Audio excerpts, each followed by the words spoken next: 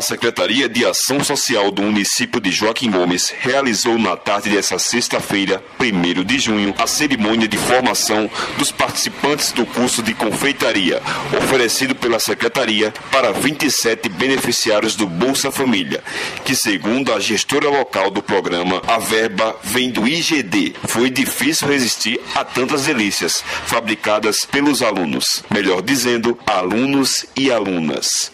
O secretário de Assistência Social, José Luiz da Silva Júnior, conhecido como Elinho, disse em entrevista ao JG 40 Graus que se sente muito feliz em ser útil na promoção de emprego e renda na comunidade. E a assistência social ela tem o objetivo de proporcionar para as famílias é, cursos profissionalizantes, dando a elas a oportunidade de ter a sua própria renda. Então, essa é um, do, um, dos propósitos da secretaria nessa administração, trazer cursos profissionalizantes para as famílias que são cadastradas no Bolsa Família também.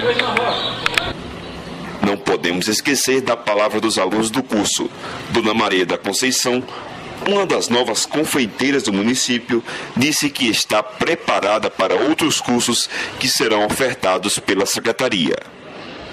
Esse curso foi muito importante e a gente espera ainda que venha novos cursos de salgados, que como a gente já sabe um pouco de salgado, mas tem muitos salgados que a gente não, não sabe ainda. Mas esse de, doce, de confeitaria foi muito importante para nós para colocar em prática. Penso muito em ampliar minhas coisas de casa, porque eu já trabalho um pouquinho, já faço né, várias coisas, e esse foi de grande importância mesmo, esse curso para a gente, porque é muito bom. E é sempre bom que a Secretaria de Ação Social sempre traga essas coisas para a nossa, nossa comunidade, né? para a nossa cidade, que precisa muito, que as pessoas carentes que não têm emprego, para colocar em prática para ajudar na renda financeira.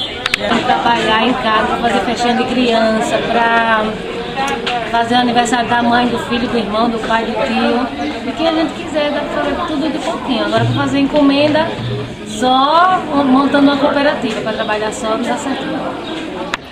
Na ocasião, todos os 27 participantes receberam kits de confeiteiro para começar os trabalhos em casa. Também foi entregue o certificado, como de praxe em qualquer curso. E não para por aí não. A vice-prefeita Ana Genilda disse ao JG 40 Graus que o executivo pode investir em outros cursos profissionalizantes para os jovens. Em seguida, seguida pela vereadora Cristina Almeida, que também comentou a ideia. O que mais eu quero em Joaquim Gomes é ocupar tanto as pessoas dono de casa a fazer algum curso, aprender a fazer alguma coisa para que traga, traga benefício à cidade, como ocupar também os, os jovens e os adolescentes, e a gente já está fazendo vários campeonatos ocupando a mente do jovem e na parte da cultura também.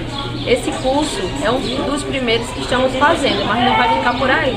Vai chegar curso de salgados e outros cursos também, que agora eu não estou lembrada, mas vai ter mais uns quatro cursos que vamos fazer também no nosso município. E o que puder eu fazer para que Joaquim Gomes cresça, desenvolva, traga sucesso, vamos fazer. Da parte da prefeitura, estamos empenhados para isso. No final da cerimônia, houve comes e bebes com os produtos fabricados pelos alunos. E não podemos esquecer das instrutoras do curso. A dona Josefa Ferreira, da cidade de Novo Lino, é a responsável por capacitar os novos confeiteiros de Joaquim Gomes.